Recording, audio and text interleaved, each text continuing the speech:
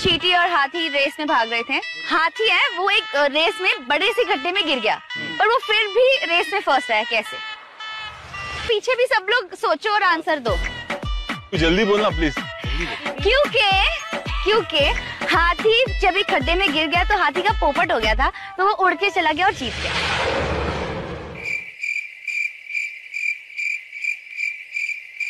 O my God ये लड़की पागल है पागल है पागल है पागल है।